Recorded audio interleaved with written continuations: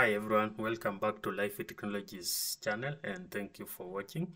So today we are continuing with our Huawei Lab simulation series and in our today's episode we will be focusing on how to implement L2 VPN, the pseudo wires on Huawei routing devices. So in our previous lab simulation we did demonstrate on how to implement layer 3 VPN where we had a routing protocol between the CE and PEs and we were able to exchange the routing information from the CEs and then we manage them on our MPLS backbone. But sometimes the customers require that they are in charge of their routing information. We don't need to exchange any routing information between our PEs and CEs. So in such a scenario, we deploy layer 2 VPN that simulates uh, point-to-point connection for the different customer sites. And then the services from the customer will be carried transparently in our MPLS backbone. So we don't exchange any routing information with the customer and we are not able to see which routes or which routing information the customer is exchanging between different sites. So for a layer 2 VPN, the pseudo-wire, this is uh, a point-to-point -point emulation and uh, it's a VPWS that is a virtual private wire service that we are using to emulate point-to-point -point connection for the customer sites. So for the implementation, we need to follow different steps. And the first step will be to enable MPLS in our MPLS backbone. So remember we are doing the emulation on our MPLS backbone. So we need to set up our MPLS backbone configure MPLS on the routers, ensure that it's enabled globally. And then we need also to enable MPLS and MPLS LDP on the interfaces. Remember, we are using MPLS LDP. Uh, I mean, we are using LDP as a, our signaling protocol. So we need to enable MPLS and MPLS LDP both globally and on each interface that is in our MPLS backbone. Once we have enabled MPLS, we need to have end-to-end -end connectivity between the PEs and the P routers. So we need to configure IGP. It could be OSPF, it could be ISIS. In this case, we are using OSPF as our IGP. And then uh, once we've configured IGP in our MPLS backbone, the next step is to configure remote peering. Remember this one, we are not doing local pseudo wire. This is a remote pseudo wire. So we need to configure remote peering, the LDP remote peering between different PEs. In our case, it's PE01 and PE02. Once we have LDP remote peering sessions up, we can now deploy our pseudo wires between PE01 and PE02 and then configure the CEs to verify that we have end-to-end -end communication in our network. So I've already prepared script and configured in our topology. Uh, so we can go through the scripts. Step one, as I've mentioned, we need to enable MPLS in the MPLS backbone. So that is the first step. And before you enable MPLS, you need to configure MPLS LSR ID. As it's on Cisco or any other vendor, you always have to configure the MPLS LSR ID first. And in this case, we are using the loopback 0 for our LSR ID. And another thing that you need to do is to enable layer 2 VPN. Remember, pseudowire is a layer 2 VPN. So you need to enable L2 VPN in the network on both PE01, PE02, and the P routers. So all routers in the MPLS backbone should have MPLS, MPLS layer 2 VPN, and MPLS LDP enabled. And then on the interface configuration, we assign IP address, enable MPLS, and enable MPLS LDP. This should be enabled on all interfaces in the MPLS backbone. So similar configuration are configured on P01, P01, and P02. So if you try to enable MPLS before you enable, for example, on this router we don't we don't configure MPLS, but we can use it to demonstrate that you need to enable to configure the LSR ID before you do any MPLS configuration. If I just try to enable MPLS, it will tell me that please configure MPLS LSR ID first. Even on the interface, if I try 001, I try MPLS, same. It's warning me that I need to configure MPLS LSR ID first before I can do any MPLS configurations. So that's why you need to enable MPLS, configure the MPLS LSR ID first, then you can enable other MPLS configurations. If you don't enable MPLS L2 VPN globally, also you will not be able to enable it on the interface. Same to MPLS LDP. So these are the configurations for interfaces and MPLS, both globally and on interfaces. Then the second step is to configure IGP. In this case, we are using OSPF. So we are running OSPF between P01, P01, and P02, and these are the configuration. And we are advertising the networks, the loopback zero interfaces and the interconnected interfaces between the routers.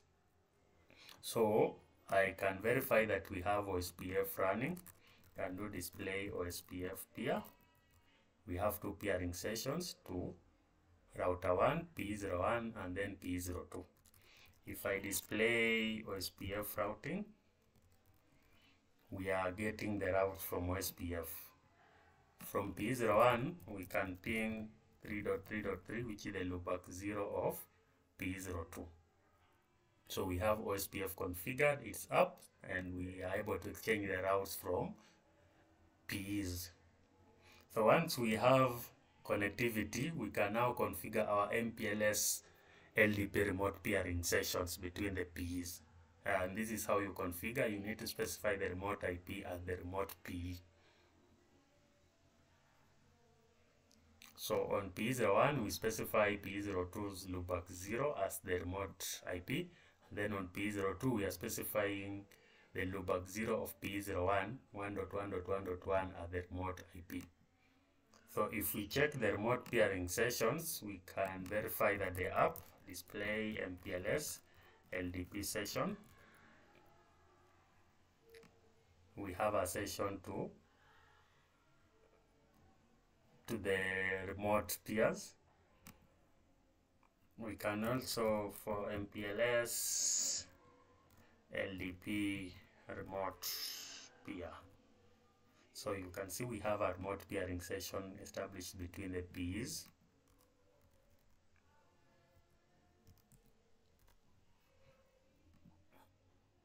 On P02 we can also display MPLS LDP remote peer. We have a peering to 1.1.1.1. So our MPLS LDP sessions are up. So the next step is now to configure the pseudo wires, the VPWS that need to emulate point-to-point -point connection between the CEs. So on P01, this is how we configure. Remember, we are configuring it facing the customer. So on gig 00 that is connected to the CE01, we define a VLAN 100, a sub interface with VLAN 100. And then we are now enabling our L2VC. This is how you are enabling the pseudo wire. So, and so it is MPLS L2VC, then we are specifying the remote PE. And then 100 will be our VC ID. And remember that the VC ID should always be the same on both ends of the pseudo wire. And then for these the raw, this one you can specify different values or different parameters. It could be raw, it could be no control word, it could be control word. So depending on your objective, you can specify different parameters. So on P02, we are doing the same. MPLS L2VC specifying P01 as the remote peer and then the VC ID 100 so these are the L2VC configuration that we are deploying on the router to deploy the pseudo wire. So once we've done our pseudo wire configuration, we can use this command display MPLS L2VC brief. So this one will give us the details of our L2VC. You can see we have a total of one LDP VC. Then the AC status is up, the VC status is up and the VC ID is 100. VC type is Ethernet. The link state is also up and the destination and the session state is up. So on P02 we can do the same, display MPLS L2VC brief. and you are able to see the details of our VC peering. The sessions are up.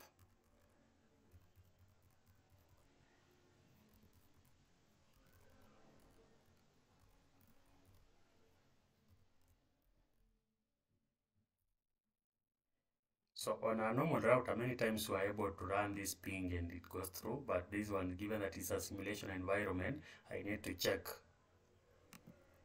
But we have verified that our VC peering is up. So the last step of our configuration is now to configure the CE routers. So on the CE routers, remember we used VLAN 100. So we are configuring a sub interface, so VLAN 100, and then we are assigning the IP address, the point-to-point -point IP address between C01 and C02. So if we check on C01